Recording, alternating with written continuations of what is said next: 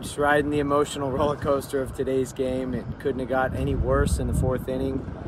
Um, it seemed like we, we walked or hit everybody that came to the plate. We had a million mistakes, um, but to our team's credit and to their credit all year, they are a tough, resilient bunch, and they firmly believe they're never out of the fight.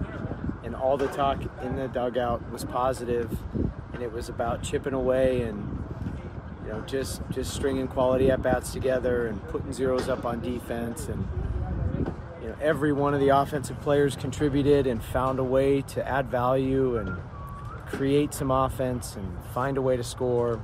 And then Matt Marchal putting up four zeros there uh, after our meltdown our epic meltdown followed up by another epic comeback.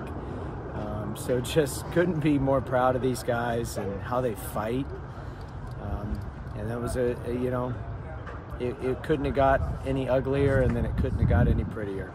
Uh, so we'll take it and we'll take them all. We'll never give them back. Um, i'm just proud proud of this group. And uh, it was a hard fought win. It was after an emotional tuesday game as well 15 innings.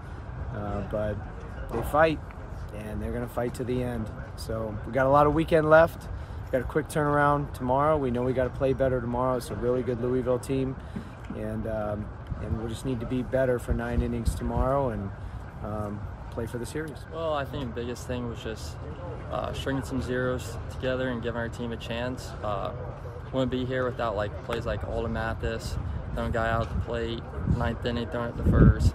Jimmy Obertop just working his tail off behind the plate, just giving me a good target, but frankly, our defense was really good. Our offense, they strung a lot of hits together, especially in the ninth, but chipped away uh, from the fifth inning on, and we just gave our team a chance and um, big team win for us. Uh, we, we competed up there today, and everybody got on base in the last inning, and it was 11-11. Jimmy tied it up, and I came up and scored the winning run, and we played defense and won the game.